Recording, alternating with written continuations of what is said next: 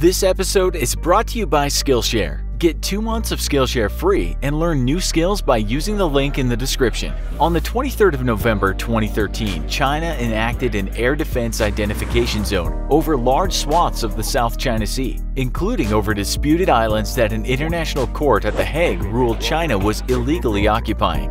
For weeks, tensions mounted across the Pacific and between China and the US, and many feared that China would escalate the situation by enacting a no-fly zone over parts or all of the South China Sea. But what exactly is a no-fly zone? Hello and welcome to another episode of the Infographics Show. Today we're taking a look at what would happen if you entered a no-fly zone. A no-fly zone, NFZ or air exclusion zone is a territory over which aircraft are not permitted to fly. Typically, no-fly zones are set up in a military context and enforced by armed fighter patrols. When set up within a military context, no-fly zones are meant to keep civilian airplanes out of a war zone and can be established to warn a hostile nation not to even attempt to take the skies. Much like the US NATO no-fly zone established against Iraq in the first Gulf War. While the terms of a no-fly zone can vary, aircraft violating it can be shot down with only a single warning, if that. In these cases, no-fly zones act like a demilitarized zone in the sky, helping keep the peace by keeping hostile aircraft out. A no-fly zone can also be set up, however, to protect sensitive locations during peacetime such as the Olympic Games during 2012 and 2016, when Britain and China enacted no-fly zones to limit the threat of terrorism. Nations also often have established no-fly zones around important government buildings, such as the US's White House. In peacetime, no-fly zones can also be set up to limit or prevent the use of drones near sensitive installations, such as airports, observatories, or high-rise buildings, where a wandering drone could cause a serious mishap. Past no-fly zones include the one enacted by the United States, Great Britain, France, and Turkey over northern Iraq from 1991 to 2003. After atrocities committed against the Kurdish populations of northern regions of Iraq, this no-fly zone was meant to prevent any possible bombing or chemical attacks against civilians living under their protection and was known as Operation Provide Comfort and Operation Provide Comfort 2. While not specifically authorized by the UN Security Council and called illegal by the Secretary General of the UN, few nations protested their implementation. After the start of Operation Provide Comfort in 1991, Iraq's no-fly zone was extended to the south of the country under Operation Southern Watch in order to protect Iraq's Shia population. In 1993, during the Bosnian War, the United Nations Security Council passed Resolution 781, prohibiting unauthorized military flights in Bosnian airspace. This resolution led to the creation of Operation Sky Monitor, with NATO monitoring violations of the no-fly zone but not taking direct action. After 500 documented violations, including one combat violation, the UN Security Council quickly passed Resolution 816, prohibiting all unauthorized flights and allowing all UN member states to take all necessary measures to ensure compliance with the no-fly zone restrictions. This led to NATO initiating Operation Deny Flight, during which NATO engaged in its first combat engagement in history. In February 1994, two American F-16s detected a flight of six unidentified radar contacts inside the no-fly zone. Two other F-16s were vectored in on the unknown contacts to discover six Bosnian J-21s and two J-22s bombing a military factory at Novi Travnik,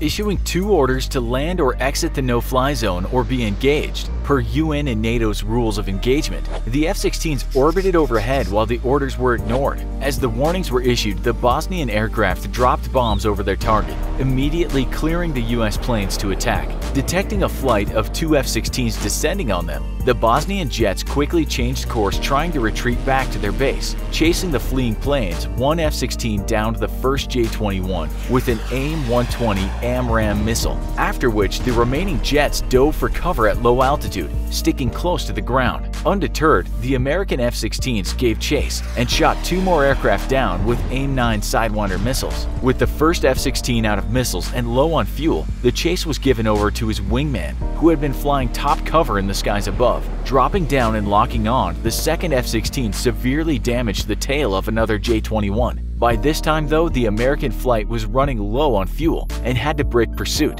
handing over the attack to a second flight of F-16s, which had been vectored into the firefight. The second flight managed to down one more Bosnian plane, and only one of the enemy planes limped home. Undergoing an emergency landing. Of the six aircraft engaged by the U.S. jets, three of the pilots were killed and three survived, two after ejecting. Operation Deny Flight would help limit the scope of the Bosnian War, denying both sides involved the use of air power, which had too often been used to target civilians. After the Bosnian Serb army threatened and then attacked UN-designated safe areas for civilians, leading to two massacres, Operation Deny Flight evolved to Operation Deliberate Force, a sustained and blistering air campaign conducted by NATO to help protect UN forces and undermine the capabilities of the Bosnian Serb army. In 2011, the United Nations Security Council once more approved the enforcement of a no-fly zone, this time in Libya in response to the civil war. Learning their lessons from Operation Sky Monitor in Bosnia, this time the UN resolution establishing the no-fly zone included provisions for further actions against violators, namely allowing enforcing aircraft to engage any aircraft that violated the no-fly zone without having to wait weeks for a new UN resolution, helping protect Libya's civilian population. NATO quickly seized the opportunity to then take the offensive in Libya, bombing government positions and providing close air support for rebel forces. No-fly zones can be established in wartime to protect civilians, or in peacetime to enforce a nation's sovereignty. No matter what their nature though, it's always the best interest of a pilot to be aware of and abide by any local no-fly zones, lest it costs them their life. Entering a no-fly zone can have some serious consequences, and going through life without the proper knowledge, skills, and training can have just as serious consequences. Why not check out one of Skillshare's over 24,000 online classes today, with topics ranging from film to leadership, Skillshare has the tools you need whether you're a budding filmmaker or a high-powered manager. Premium membership will give you unlimited access to topics that will improve your skills and in the process your life. Join the millions of people who are using Skillshare and get two months free by going to Skillshare.com slash infographics35 or clicking the link in the description and start learning today. Does the UN have the right to limit another nation's airspace even during wartime? Do you think you could come up with better names for NATO operations? Let us know in the comments. Also, be sure to check out our other video, Is the Human Max Age 122? Thanks for watching, and as always, please don't forget to like, share, and subscribe. See you next time.